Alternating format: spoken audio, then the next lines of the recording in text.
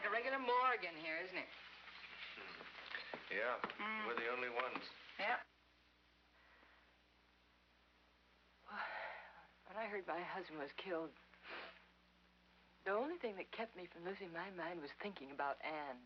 For his not being akin to hard work, he just didn't inherit it.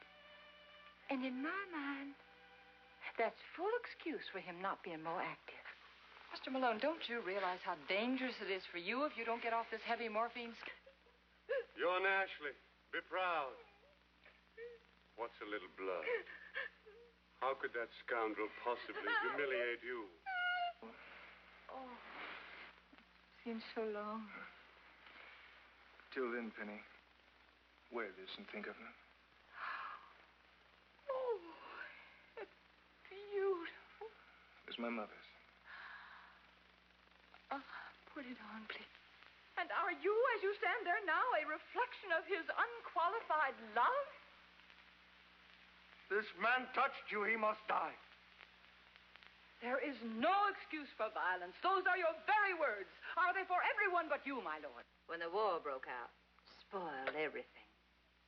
So, as I'm way past due and you're just about ready, I was thinking maybe we should embark on our grand tour. Well, we all have to live and work with other people. And uh, it makes the world so much more pleasant if you like and trust them instead of dislike and distrust them. Well, thanks. So are you. Oh, I'm sorry, Mark. They were only part of the family. I was demonstrating a new scent that day. Perfume, you know. It was called Kiss in the Dark. And he gets one whiff of it. And he says, What's that? And I says, It's just a kiss in the dark. And he took it from there. You, you just proposed to me. This is from the book of Proverbs.